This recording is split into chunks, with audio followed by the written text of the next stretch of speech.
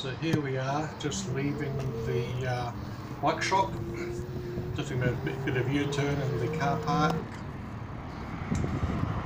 Turning left onto Marion Road. It's a fairly busy time of the day, so lots of traffic around. Here me to turn me up gear. My bike.